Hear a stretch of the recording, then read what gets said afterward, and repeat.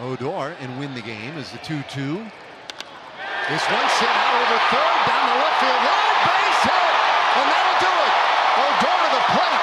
And the Rangers, for the second time in three nights, have walked it off.